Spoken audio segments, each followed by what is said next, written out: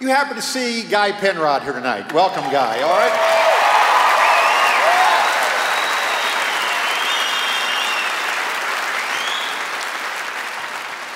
Guy and his wife Angie are here tonight with their newest uh, baby boy, number six. Six.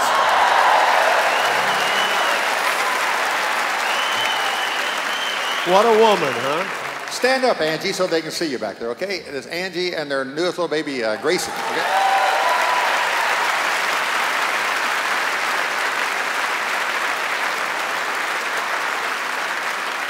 And then David Phelps, you uh, heard him a while ago on These Are They.